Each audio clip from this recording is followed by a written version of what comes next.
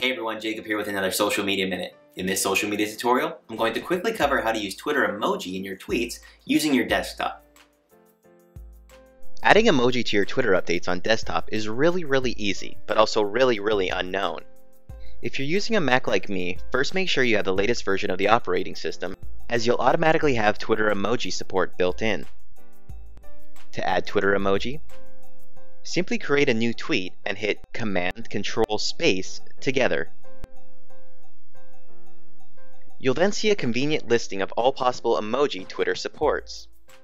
Now if you're on a PC, you're going to want to head over to my blog post where I detail the two different options you have available to you. One last tip. While emojis on Twitter can be great for gaining a little more attention, like adding a play arrow if you're posting a video, or adding a bit of flair to relevant posts like a jack-o'-lantern for Halloween, just be careful not to overdo it. And believe me, it can totally be overdone.